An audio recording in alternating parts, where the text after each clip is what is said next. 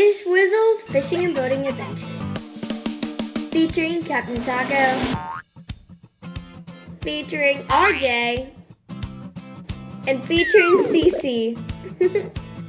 this adventure is the sharks, redfish, crabbing, and symbiotic relationships.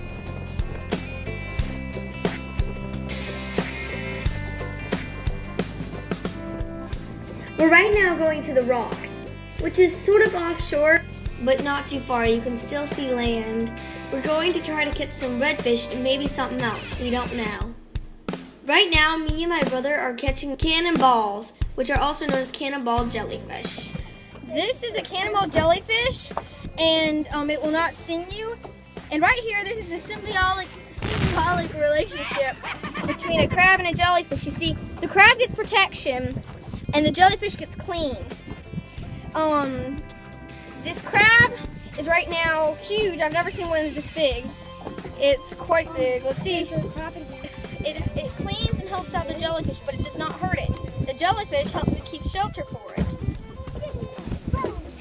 It's quite a big crab. Now I have to let it go.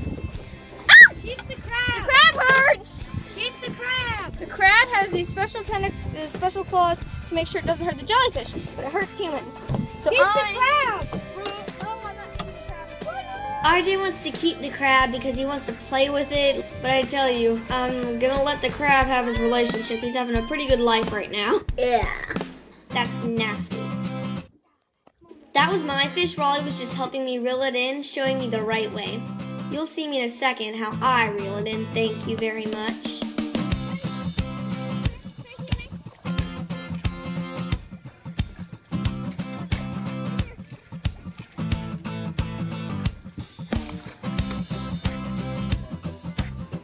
We called my shark Fatty because he would not get in the net. It took a little while for him.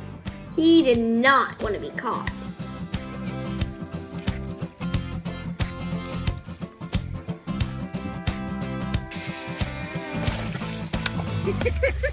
He's a fatty. Come on, Dad, pick it up. Come on. Yes. that does not want to be caught right now.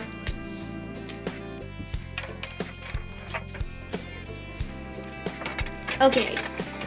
You don't see me much after the shark's in there, only my hands, but I totally drop the rod and start touching, okay?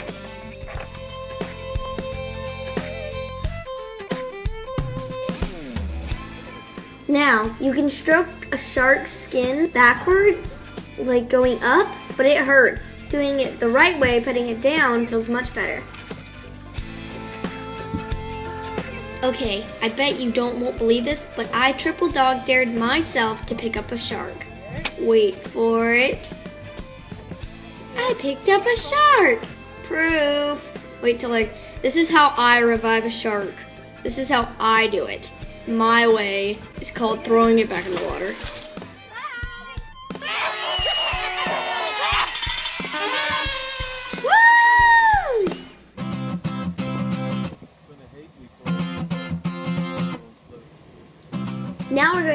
Going to the Edisto Marina, where we do bunches of stuff, especially eat ice cream and go crabbing. It's so much fun.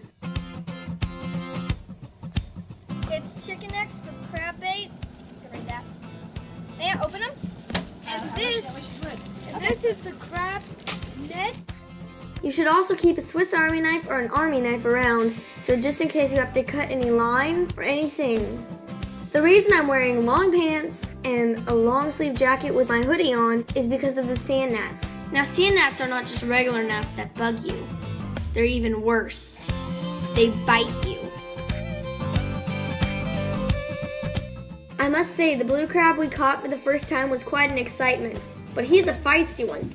Me and Charlie put out a crab net, and we weren't expecting to get anything big, but we actually got this really big blue crab. Um,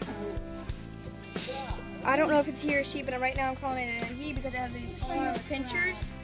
Right here, you can find out that apparently he had done something to clip off his um claw. He's gonna be eaten. Yep. He's in the boiling pot now. Too bad, so sad. Wee wee. Now we're heading back out to the rocks. Redfish!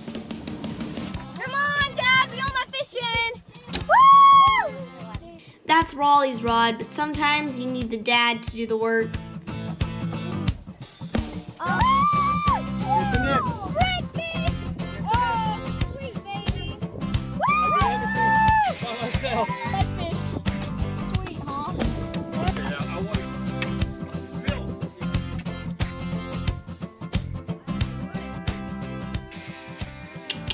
Number redfish!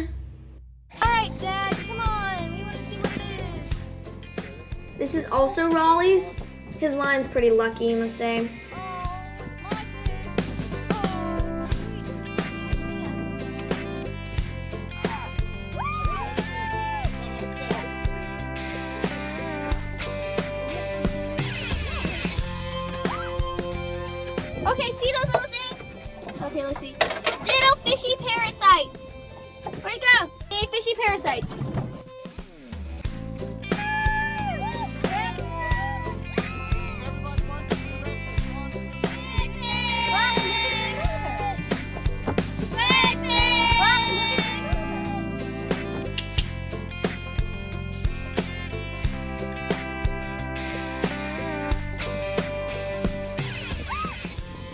My mom's trying to make a fish revive. Dead, dead, dead, dead. Ready for it? Don't think it's gonna come alive? Bye bye. This is the third redfish, but this time I don't let dad fight it. I fight it myself. I can't believe this. We have to turn back if you want to see this. Okay. Okay, I'll take the hook. Mine was actually pretty unique out of the most of them. Spot-tailed bass or redfish are usually have one spot, but mine had a few trickles. Okay.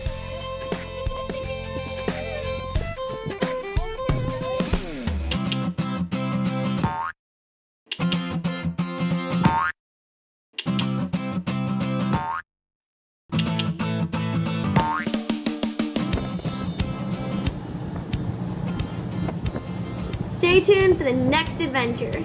Whizzle!